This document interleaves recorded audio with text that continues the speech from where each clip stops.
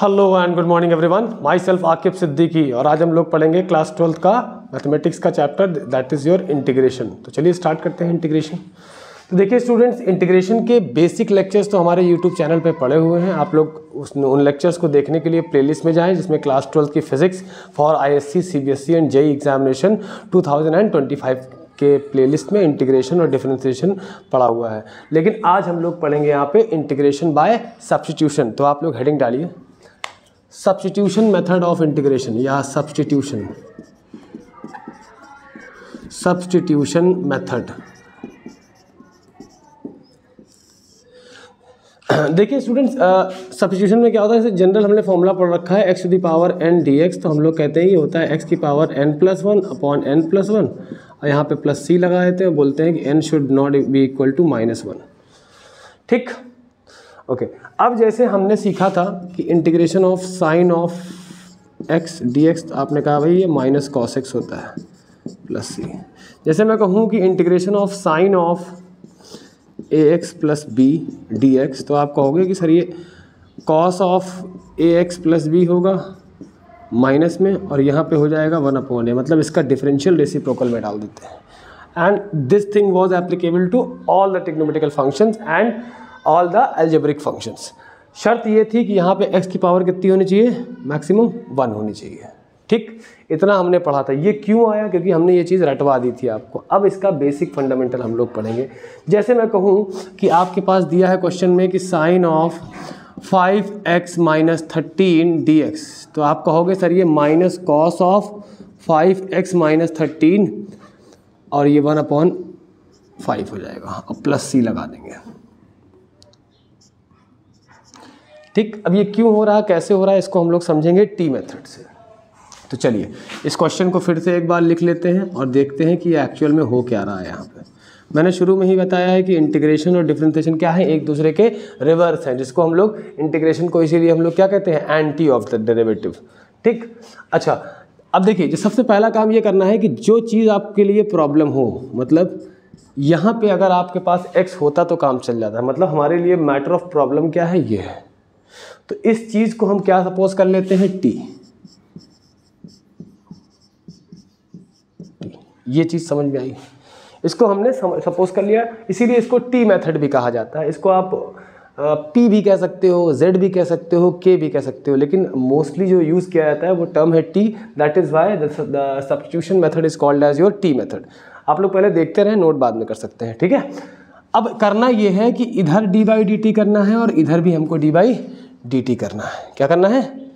जो माना है, उसी के रिस्पेक्ट में डिफ्रेंशिएट करना है। तो डी बाई डी टी इधर करेंगे।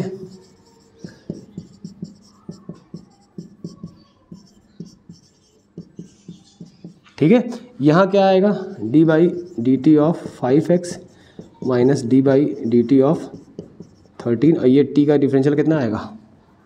वन आएगा। ठीक? अब फाइव बाहर लेंगे तो ये आएगा d x upon d t minus तो five d x upon d t is equal to one. तो डी एक्स बराबर हो जाएगा वन बाई फाइव और डी टी उधर भेज दीजिए। ये बात समझ में आई आप लोगों को कि नहीं? यहाँ पे हमने क्या किया? D by d t of five x अब भाई फाइव तो कांस्टेंट है, बाहर वेट कर लिया एक्स हमारा कांस्टेंट नहीं है। एक्स क्या है आपका? वेरिएबल है। तो मैंने क्या सिखाया जैसे d by d x of y करते थे तो क्या बन जाता था? D y by d x बन जाता था। वैसे ही d by d t of x क्या बन जाएगा? D x upon d t ये समझ में आया? अब हमारा टारगेट है कि इस पूरे सिस्टम को एक्स से टी से रिप्लेस करना है। जहाँ जहाँ एक्स होगा, वहाँ क्या कर देंगे हम लोग? टी कर देंगे।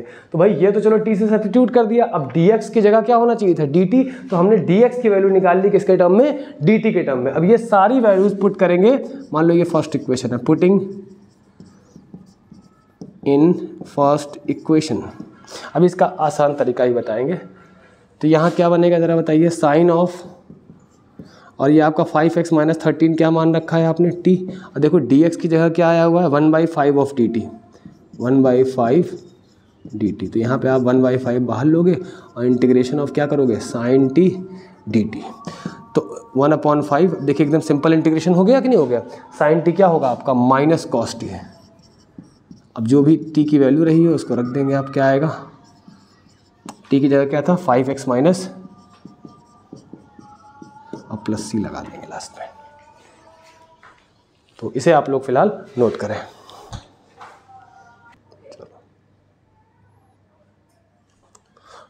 हाँ तो अब हम लोग अगला क्वेश्चन करेंगे। जैसे जैसे हमने कहा था, एक फॉर्मूला बताया था कि a x plus b whole to the power n d x मैंने क्या कहा था? ये जो ट्रिक थी, वो थी कि एक्स की पावर वन होनी चाहिए मैक्सिमम तो इसके लिए क्या कहा था? इसको कुछ देर के लिए एक्स मान लेंगे। A x plus b whole to the power n plus one upon n plus one और प्लस सी लगा देते थे। और यहाँ क्या करते थे डिनोमिनेटर में? इसका डिफरेंशियल यहाँ पे रख देते थे। है ना? अब देखो इसका एग्ज़ाम्पल देखते हैं। जैसे मैं कहूँ कि integration of five x minus two whole to power twenty d x integrate करना है। तो नॉर्मल तरीका क्या होगा यहाँ पे बताओ? Five x minus two whole to the power twenty plus one upon twenty plus one in one bracket और इसका जो डिफरेंशियल है, वो क्या होगा?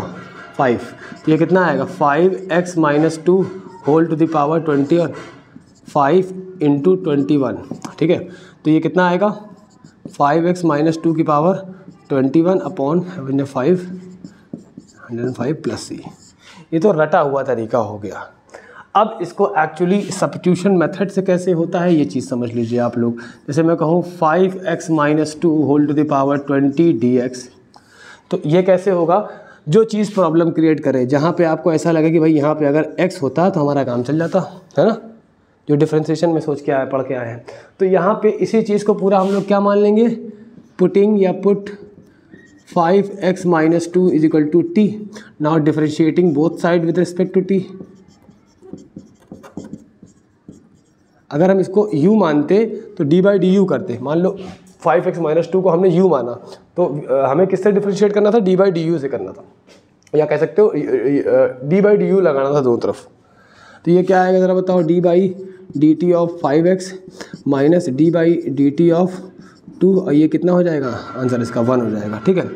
फाइव बाहर लेंगे, ये बन जाएगा d x upon d t minus zero is equal to one five times d x upon d t is equal to one अब हमें क्या करना है? फाइव डी इकट्ठा कर लो। डी एक्स की वैल्यू क्या आ जाएगी? One by five of d t अब क्या करेंगे? सारी वैल्यू यहाँ पे सब्सिट्यूट करेंगे। मतलब कि देखो फाइव एक्स माइनस टू को हमने क्या माना है? टी माना है। टी की पावर ट्वेंटी और डी की जगह क्या है? One by five d t. One by five of d t. तो कितना आएगा? वन बाई फाइव टी की पावर ट्वेंटी डी टी। अब यहाँ पे एकदम आसानी से फॉर्मूला लग जाएगा। कितना आएगा? टी की power twenty plus one upon twenty plus one ये one upon five into t की power twenty one upon twenty one तो टी की power twenty one upon hundred and five, और टी की वैल्यू क्या माना था हमने? Five x minus two that means कि five x minus two whole to the power twenty one upon hundred and five plus c तरीका थोड़ा लेंदी है, लेकिन बड़े क्वेश्चंस को सॉल्व करने में बहुत ज़्यादा आसानी करेगा आप लोगों के लिए, ठीक है? अभी तो लग रहा होगा कि भाई ये ट्रिक्स ही बेहतर थी, लेकिन ये तरीका आपको और स्टैंडर्ड लेवल ऑफ़ जो इंटीग्रेशन है सब्सिट्यूशन मेथड में, उनको सॉल्व करने में बहुत ज़्यादा मदद करेगा, जहाँ ये तरीका आपका काम नहीं करेगा। ये तरीका कब काम करता है? जब एक्स की पावर वन हो। अगर यहीं पे five x square minus two whole to the power twenty दे देंगे तो ये तरीका नहीं काम करेगा। ठीक है? इसे आप लोग नोट करें तो फिर हम लोग आगे बढ़ते हैं।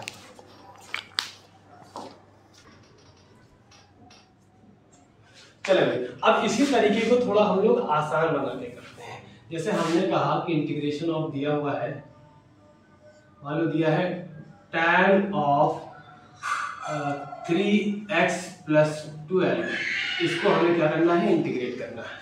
अब इसको देखते ही सबसे पहला सवाल हमारे मन में आएगा कि काश यहाँ पे x होता तो इसको हम tan थीटा का sorry sorry sorry sorry sorry sec square कर देते हैं। काम कर देते हैं। यहाँ पर हम लोग करते हैं cos of three x plus इसको देखते ही सबसे पहला ख्याल हमारे दिमाग में आएगा कि भाई अगर यहाँ पे x होता तो हम लोग cos x का sin x इंटीग्रल लिख देते हैं। अब वही काम करना है, जो चीज़ प्रॉब्लम क्रिएट कर रही है इसको क्या मान लेना है? लेना तो लंबा प्रोसेस नहीं करना करना तो वो तरफ़ टी के रिस्पेक्ट में ही है, लेकिन शॉर्ट ट्रिक समझ लो। इधर एक्स के रिस्पेक्ट में, इधर टी के रिस्पेक्ट में। क्या? इधर एक्स के रिस्पेक्ट में, इधर टी के रिस्पेक्ट में। जरा करो, इधर एक्स के रिस्पेक्ट क्या होगा तो ज़ीरो हो जाएगा। ज़ीरो लिखो ही मत। थ्री एक्स का तो वन हो गया। इधर कितना हो गया? वन इधर लगा दो डी एक्स इधर लगा दो डी क्या दिक्कत है बताओ? इधर x के x के साइड में x के रिस्पेक्ट में डिफरेंशिएट करो और t के साइड में t के रिस्पेक्ट में डिफरेंशिएट करो। तो इधर क्या आएगा? वन आएगा x का इक्वल ज़ीरो हो गया t का वन आएगा। x के साइड में dx लगा दो t के साइड में dt लगा दो। तो वो, वो, वो वाले तरीके से करोगे तो आएगा वही। तो आपका dx की वैल्यू बेसिकली आपको यहाँ से क्या मिल गई one by three of d t इसको उठा के यहाँ रखो। चलो क्या आएगा? जरा बताओ। cos of three x plus twelve क्या है? आपका t है। और dx की जगह क्या आया है? वन बाई थ्री बाहर ले लो और यहाँ dt कर लो। Cos क्या होता है? Sin t होता है? वन बाई थ्री तो ये आएगा वन बाई थ्री साइन क्या होगा जरा बताए? T की जगह क्या है? Three x plus twelve plus c बताओ आसान है? ओके वेट अब देखो इसका असली यूज़ कहाँ पे है। जैसे मैं कहूँ, कहीं पे लिखा हुआ है question e to the power tan inverse x upon one plus x square question देखने में काफ़ी खतरनाक लग रहा है, लेकिन है बहुत आसान। ये तो चलो आप लोग डायरेक्टली भी कर दोगे अगर एग्जामिनेशन में, यहाँ से डायरेक्टली ये ट्रिक लगा के, तब भी आपके मार्क्स नहीं कटने वाले। हाँ अगर वो कहता है कि solve it by substitution method तब आपको ये पूरा इस्तेमाल करना पड़ेगा। लेकिन मान लो क्वेश्चन के बीच में कहीं भी ये आया तो आप इसको डायरेक्टली ये कर सकते हो। इसीलिए ट्रिक्स याद है ठीक है, लेकिन तरीका समझ में देखो इसको इस्तेमाल कहाँ करेंगे? यहाँ पे इस तरह का क्वेश्चन जो कॉम्प्लेक्स सा हो क्योंकि इंटीग्रेशन में क्या है, सब कुछ एकदम सिंपल चाहिए उसको। सिंपल एक्स की पावर एन चाहिए, या टी की पावर एन चाहिए सिंपल साइन एक्स चाहिए सिंपल कॉस एक्स चाहिए। अंदर के मसले को डील नहीं करता सेपरेटली डायरेक्टली फिर टी मानना पड़ता है। तो यहाँ पे इस तरह के क्वेश्चन जब भी दिखे, आपको ये सोचना है कि एक का डिफरेंशियल ज़रूर दिया होगा। क्या दिया होगा? किसी एक का डिफरेंशियल ज़रूर दिया होगा। अगर आप इफ़ यू रिमेंबर कि बाई डी एक्स ऑफ़ अगर आप tan इनवर्स एक्स करते थे तो याद है? क्या आता था? One upon one plus x square याद है? नहीं याद है तो कोई बात नहीं, याद कर लीजिए। तो हम अगर एक काम करें, किसको टी माने? tan इनवर्स ऑफ़ x को क्या मान लें? टी मान लें। अब ट्रिक क्या बताइए? इधर x के रिस्पेक्ट में डिफरेंशिएट इधर t के रिस्पेक्ट में डिफरेंशिएट तो क्या आएगा? tan इनवर्स क्या आएगा? 1 अपॉन 1 प्लस x स्क्वायर तो यहाँ क्या आएगा? 1 x के साइड में क्या लगाना है? Dx और t के साइड में क्या लगाना है? Dt तो देखो ये पूरा dx के साथ चला गया नहीं चला गया? तो क्या आएगा इसका बताओ ये इस पूरे की जगह हम लोग 1 dt लिख देते हैं। देखो इस पूरे की जगह। Dt आ गया और e की पावर t आ गया कि नहीं आ गया? बताओ।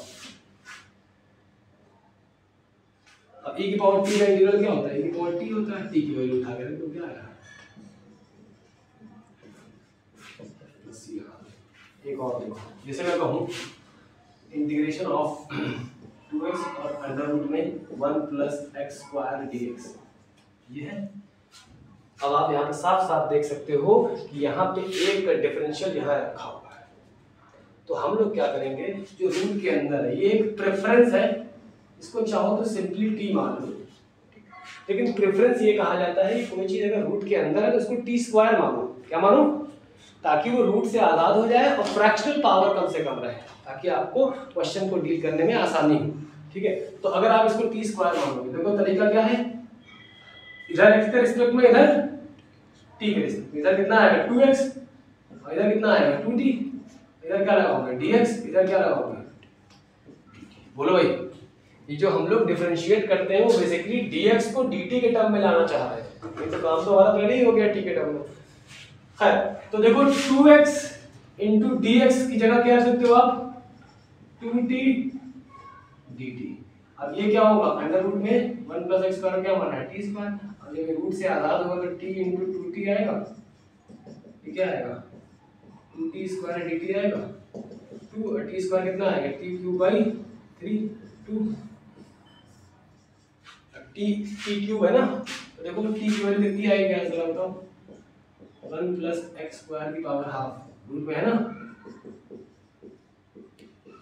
इस पूरे पावर कितनी है? तो क्या आएगा? Twice of